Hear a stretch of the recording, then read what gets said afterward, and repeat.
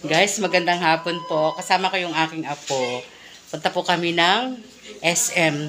Anniversary po namin ngayon mag-asawa. Titreat po kami ng aking mga anak. Busy, busy. oh, hindi ka kasasama? Iwan ka dito. Ba, taong bahay ka, bala ka. Siya, siya ngayon si Plan Daddy. Ah, nga po pala. Siya po ngayon si Plan Daddy. Mahilig po siya maghalaman doon sa aming bubong. Bumili po siya kanina ng mga seeds. Okra, kalam, ano ba yan? Sitaw. Tsaka po yung siling panigang para hindi na raw po kami bibili. Siya po ah, si ano, meron po siyang farm from the city. Sa amin pong bubong. Ayan na po sila. Ang aking mga anakis. Ayan. Ito po si Caris, Karen, ang aming bisita from Pangasinan. At po si Ruby. Karen. Andito na kami guys sa Inasal. Nintay lang namin yung order. Kakain na po tayo. Magsisikain na po sila. Eh, syempre ako rin po, upo na po sanda dito. Happy 34th anniversary sa amin dalawa. Okay po, tapos na po yung aming pagkain. Ito naman pong dessert ang aming kakainin.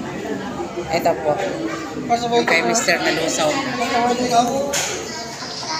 Tapos na po kami kumain. Unti-unti na silang nag-aalisa. Yan. Yan po. Po, oh. Pinapanood na namin yung Sona. Nagkukulitan na rin yung mga bata. Salamat po sa nagbigay ng cake, Joanne at Kayla, Ryan and JJ. Salamat sa mga asawa niyong mababait. Na-treat nila kami. Ayan naman po si Mr. Nagkakape na siya. Yan.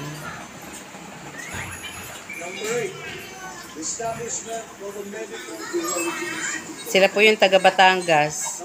Pero dito siya nagtuturo sa pangarap. Kaya ang hirap-hirap po ng kanyang sitwasyon. Pagpasok ka na po, babalik na po ulit siya dito. Sa ngayon bakasyon, kaya uuwi muna siya. Hi guys! Siya naman po yung taga Cavite. Na every Sunday po, pumupunta rin po siya dito para man sa kanyang mission. Yan. Hello guys! Ang sisipag po Keep nila. watching. Keep on watching daw.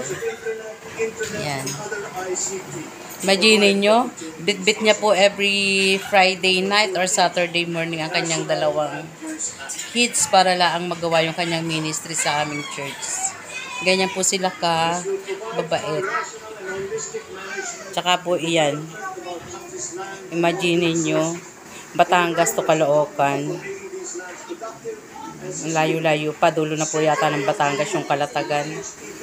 Pero masarap po doon kasi marami po doong isda na fresh. Kaya po siya tumataba sobra. Pero ano naman po, ang bait-bait din po ng kanyang asawa dahil lagi niya po kami binibigyan ng isdang ano, sariwa. Meron po kasi silang bangka tapos yung biyahihan ng isda, yung truck, dadalhin po doon sa pamilihan ba tawag doon? Sa market tree daw. Ewan ko po kung ano yun basta. Doon po sila di-deliver. Happy anniversary.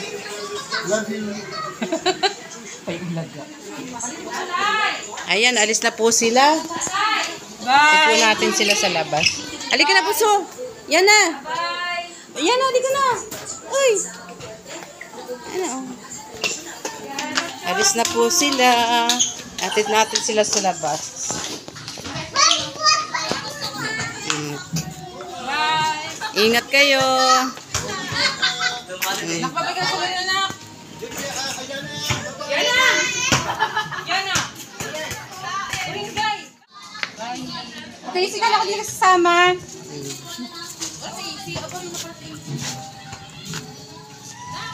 Ihatid po natin sila.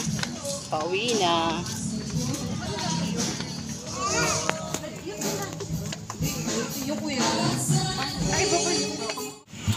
Yan ang aking apong panganay, pinakamaganda.